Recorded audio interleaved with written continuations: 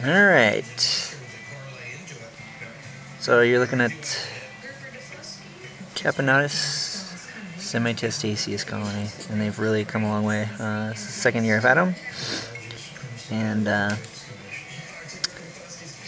lots of cocoons, lots of larvae, and lots of new eggs from the queen. The queen's on the left side, she's kind of facing towards the camera. Um, there's one major worker in there, um, and there's another cocoon. Looks like it might be another major, so very large. It's in it's on the bottom of that pile right there in the front of the camera, and uh, yeah, they're they're coming along nicely. They they don't eat. They don't.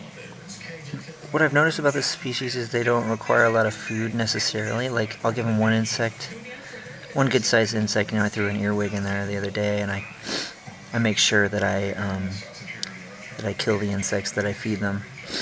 So there's unnecessary, so there's no unnecessary uh, injury to the ants or, or, you know, could panic the queen or injure the queen. So I do that.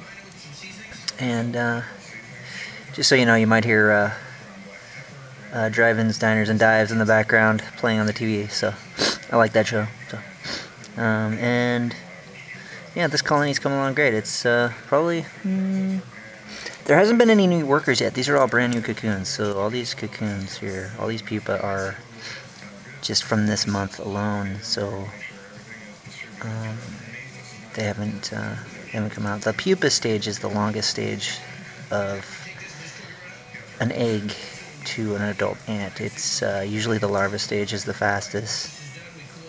Larger, the larvae grow really quickly, and then they pupate and spin a cocoon.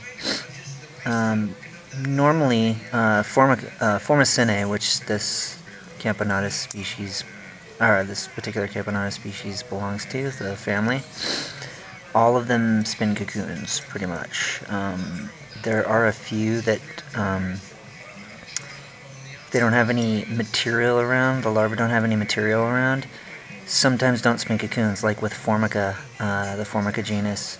I've noticed that if you have them in a glass tube and they don't have anything to to spin against, like granules of sand or cotton, um, then they won't actually spin their cocoons. They need something to hold on to, kind of like a kind of like a uh, leverage, if you will. Um, but uh, seem to spin their cocoons no matter what, uh, the larvae themselves. So, but uh, yeah.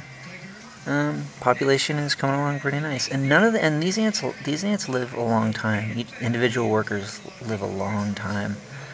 Um, these are her second generation workers, so the first generation workers have died already, but they're always the weakest and the smallest, so they're called Nanitics.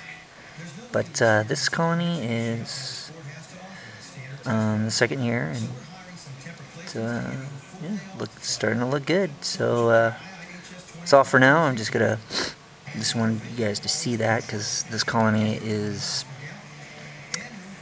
I don't know. It's one of my more successful colonies that I have right now. My other successful colony is my Pheidole colony, which I'll probably film more than likely in the next few days, and I'll put that on up on YouTube for you guys to check out. So, all right, there you have it. All right, guys. Peace.